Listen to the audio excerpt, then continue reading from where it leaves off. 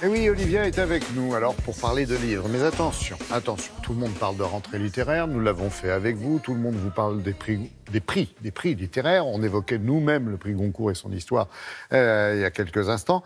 Vous avez décidé, Olivia, pour notre plus grand bonheur, de nous parler de bande dessinée. Oui. Alors, avec euh, le côté, j'allais dire, euh, ludique, certainement, hein, euh, bien souvent, mais aussi ce, ce côté passeur d'histoire et, d'information. Oui, le roman graphique est devenu un des meilleurs moyens pour raconter le monde d'aujourd'hui.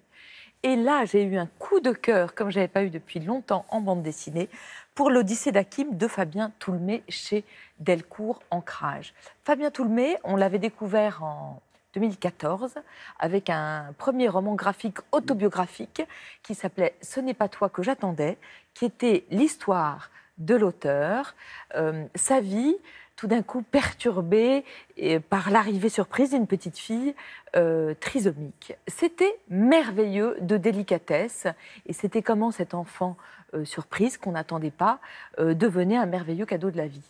On le retrouve aujourd'hui avec toujours une histoire vraie, mais qui n'est pas la sienne, qui est celle d'un réfugié syrien, Hakim, 30 ans, qui habite aujourd'hui Aix-en-Provence. C'est un livre absolument passionnant que vous prenez, que vous dévorez comme un roman, parce que vous découvrez l'histoire vraiment d'un homme avec ses peines, avec ses chagrins, avec euh, ses moments absolument de vie terribles, et en même temps vous découvrez l'histoire de la Syrie en guerre en trois pages, foi d'Olivia. Vous comprenez toute la guerre en Syrie. C'est la force de l'image et surtout la force de l'intelligence et du sens de la synthèse. Ce livre, il est né d'une histoire que j'aime beaucoup. Fabien Toulmé, il est devant sa télévision, journal télévisé, et il y a ce crash d'avion, ce pilote fou qui propulse l'avion euh, dans une montagne. Il y a 150 morts. Il regarde ça en boucle, comme tout le monde, en se disant ça pourrait être moi.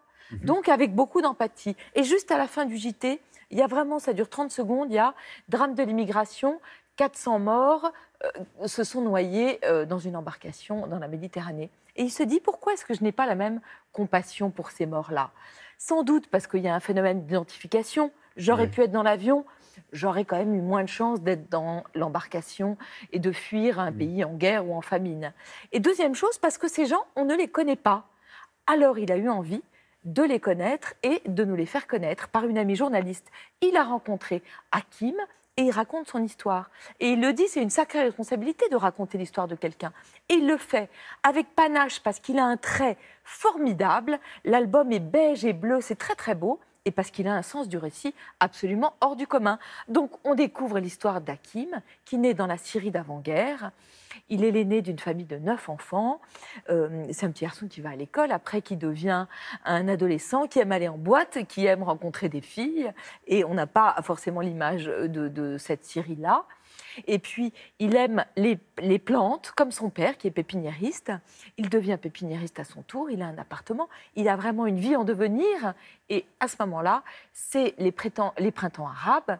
La guerre euh, commence, euh, il y a les premières manifestations, son frère y participe, la peur monte, euh, son frère va disparaître dans une manifestation, et d'ailleurs aujourd'hui on n'a toujours pas de nouvelles de lui, et ses parents, à un moment, vont lui dire qu'il vaut mieux qu'il parte dans un autre pays.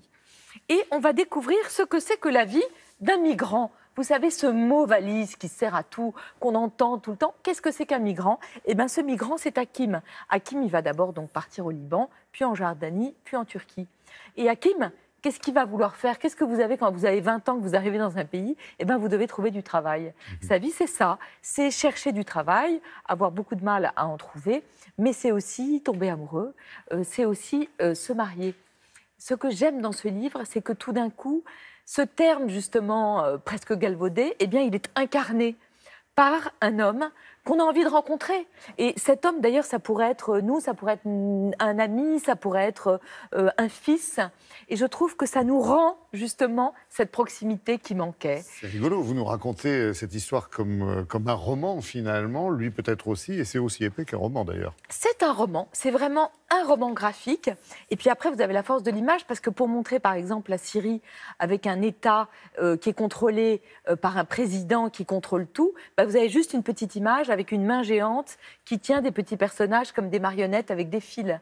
Donc vraiment, l'image sert, je trouve, euh, très très bien à raconter euh, ce que des grands discours n'arriveraient pas à, à synthétiser. L'image aussi au service euh, d'une œuvre. Quelle œuvre La bête humaine de De Zola. Zola. Parce que ça, c'est une autre tendance forte de la bande dessinée, c'est de raconter des classiques avec des images. Alors, il y a des gens qui sont scandalisés. Oh là là, quelle horreur, Zola, il faut le lire dans le texte, etc. Bon. Moi, je dis que Oui, si vous avez, bien sûr, si, si, si- bon, mais si vous avez chez vous un ado, euh, vous lui donnez le, le joueur d'échecs de Stéphane Zweig, 80 pages, et qu'il a du mal à aller jusqu'au bout, eh bien, les Rougon-Macquart, 17 Ouais. volumes, il n'y arrivera pas. Vous Et que c'est mieux de lire une bande dessinée bien faite et bien dessinée plutôt que rien du tout. C'est le cas de celle-là. Euh, la bête humaine, c'est vraiment le Zola qui est le plus noir. Mm. Il y a des viols, il y a des meurtres, il y a des suicides, il y a vraiment euh, une atmosphère très très noire.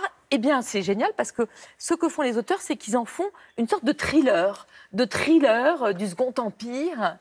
Et je trouve que c'est très efficace. hein. C'est chez Robinson. Et après, évidemment, si vous lui offrez le folio de, de Zola, c'est bien. Mais c'est bien aussi. Merci beaucoup Olivia pour ces, ces deux belles découvertes. On a, on a retenu euh, votre vrai coup de cœur Oui, euh, pour l'Odyssée d'Hakim. d'Hakim. Ouais. Merci beaucoup. On va